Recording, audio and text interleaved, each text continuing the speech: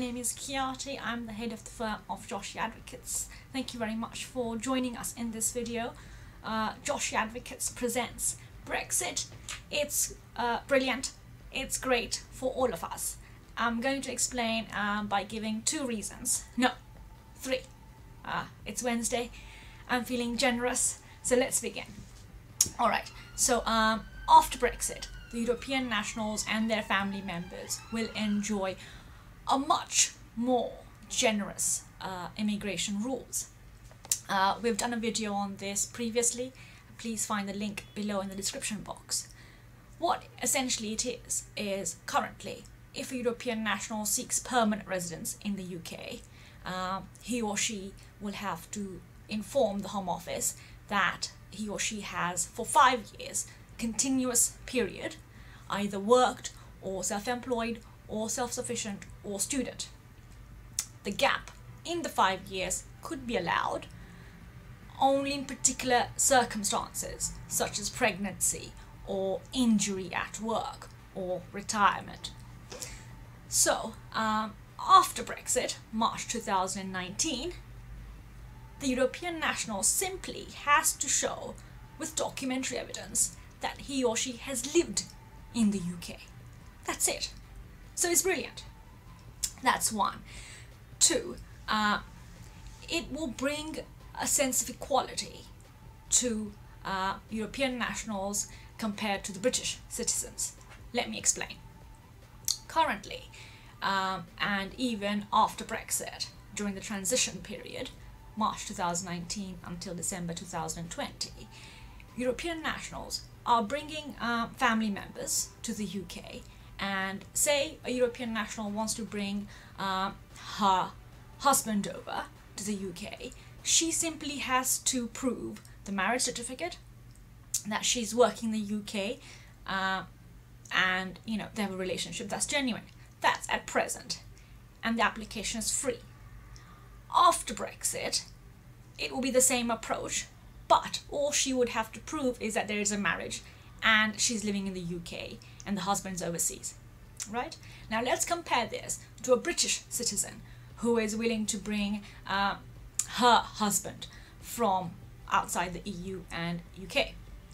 The British national has to go through five requirements and specified evidence. If one of these evidence documents haven't been provided, the application will be refused by the Home Office. So the British citizen has to go through a lot more stringent procedure uh, in respect of documents uh, when making an application for her husband to come to the UK. And the application is not free, it's £1,500. So after December 2020, if a EA national seeks to bring her husband uh, to the UK, uh, for example, the procedure would be the same as a British national is facing at present. So once we come out of uh, European Union, it's actually placing the British citizens on the same footing as EA nationals because EA nationals would have to go through the similar or the same procedure. So it's fair and bringing equality to the table. And even more, uh, uh, an example to uh, inform of equality and how it's being furthered due to Brexit. Uh, say uh, it's bringing equality to the job market. Now, allow me to give you an example. Say a Chinese um, architect wishes to come to the UK and um, how would he do that, right? So, um, he would actually have to find a company in the UK who has a tier 2 sponsorship license from the Home Office and that company would sponsor him. And with that sponsorship he would have to make an application to the home office with particular documents uh, to show a particular salary and to show his experience. And specific documents are required for this too. So that's one. Now compare that to a European national seeking for the architect position in the UK the European national simply just comes in the UK and uh, is able to secure the architect position now this is what the Prime Minister's argument is. It isn't fair to the job market. Jobs should be given based on skill. I'm sure everyone would agree. Jobs should not be given based on where an individual comes from. This is why Brexit is bringing forth equality in practice, not just in debates. It's actually being practiced, and this is how it's being practiced. Jobs will be given based on skill.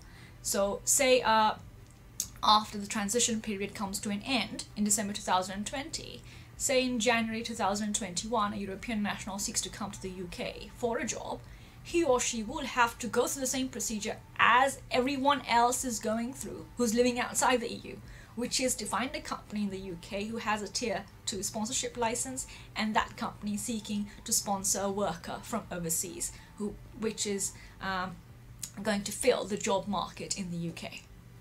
So I hope these reasons are amazing and strong enough for you to finally accept that Brexit is amazing and it's going to benefit the European nationals, their family members, the British citizens, and um, the economy at large.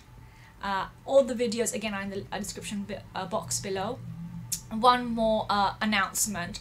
We are doing a talk, a free seminar on Brexit. The details are in the uh, description box below. Book your free seat and look forward to seeing you there in person. And I will be doing an asylum video uh, very soon because there's a lot of um, misinformation out there. Uh, because uh, thank you very much for calling and letting me know what you're going through and allow me to address to everyone on YouTube um, the asylum process, uh, the requirements and how Home Office considers uh, the actual claim. Well, I'll see you very soon. Thank you so much. Uh, always subscribe and feel free to contact me again. Details below. Thank you very much. Take care.